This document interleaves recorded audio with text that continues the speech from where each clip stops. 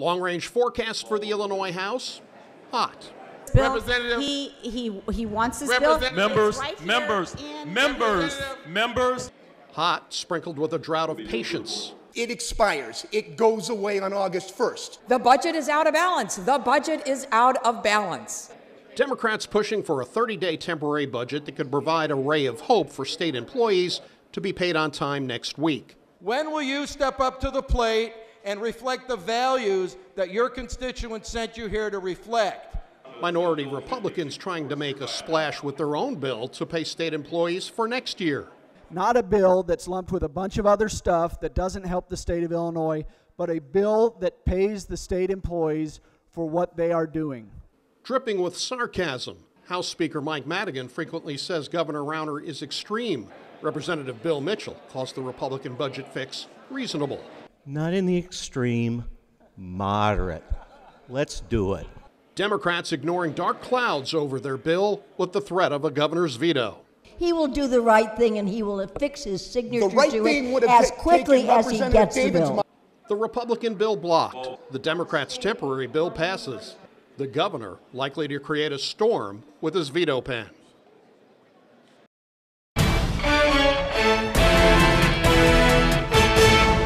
Men in hard hats. My husband passed in December of 14 from larynx and esophageal cancer. An environmental cleanup in a residential neighborhood. They said our pro- property it was um, lead and I believe it might have been arsenic. Contaminated soil and the belief among some residents that it may be causing cancer. Breast cancer in one woman. And I went through all of the treatment and stage three and lymph nodes at 39 years old. There are people that are younger than they should be getting very very bad cancers that you wouldn't expect. The culprit? The 100 acre Hegeler Superfund site. Closed in 1954. It is a toxic soup of waste, including arsenic and lead, blowing in the winds into the Hegeler neighborhood. The contamination in this yard is, is horrible. In this area, it's horrible. I went out of the neighborhood and I can't sell my house now. A mountain of trouble. Slag, a waste product from zinc smelting, nearly 55 feet high over six acres. Slag used as fill in driveways, alleys, and along some roads in Hegeler and Tilton. A $4 million cleanup, digging up two feet of dirt on 39 properties. For each individual property, we anticipate five to seven days from removed from excavation to, to um, putting down clean uh, sod on top. Dirt trucked out of the neighborhood, but not dumped in an EPA approved landfill. When they dig up the dirt, it doesn't have to go far at all. In fact, they're bringing it right back to where it started at the Hegeler zinc site. If it contaminated this area before, why is it not going to do that again? I mean, they've been testing this ground for ever since we've been living here, and there's never been anything done about it. So, why now? EPA says the dirt will be moved again as part of a future cleanup on the zinc site. I want to know why they are only doing a certain area of my yard and not my entire yard. The cleanup is only on land EPA says is contaminated. Lots that are an island of greens squeezed into a patchwork of properties where dirt is being removed. My mom owns a house on the main drag. She wanted it tested. They refused to test it. They said it's fine. For years, the residents of Hegeler have been told there is no threat to public health. Yet residents map out homes with yellow stickers where people have been diagnosed with cancer, pink stickers for dogs with tumors. Some cancers found in the nick of time. And thank goodness because they said it was aggressive and I would have six months.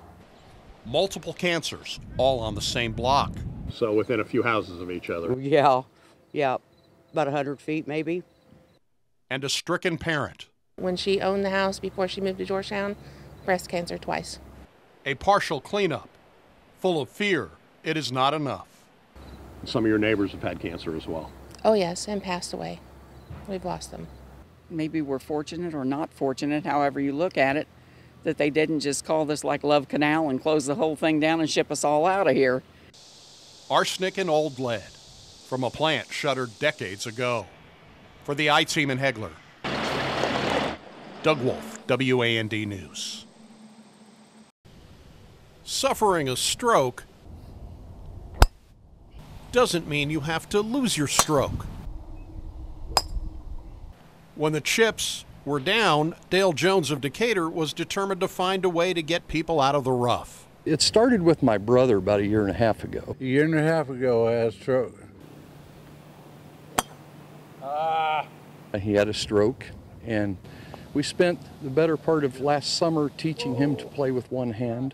While helping Ernie get back in the swing of things, Dale decided to help others bounce back, setting up a golf league with the Decatur Park District for veterans and those with disabilities. Get them up off the couch, get some uh, fresh air and sunshine, you know, and get a little, uh, little exercise. If they're a veteran, if they have a disability, they're welcome to come out. I mean, I'm paralyzed on the left side. Phil Young had his stroke four years ago. Dale gave Phil a mulligan as he starts the newest round of his life. Did you think you'd ever be able to play again? No, I didn't. That's what I told Dale. I said, I don't think I'd ever be able to play. Putting. You like to putt? Yeah, I can putt real good. Veterans and the disabled golfing without a handicap. Doug Wolfe.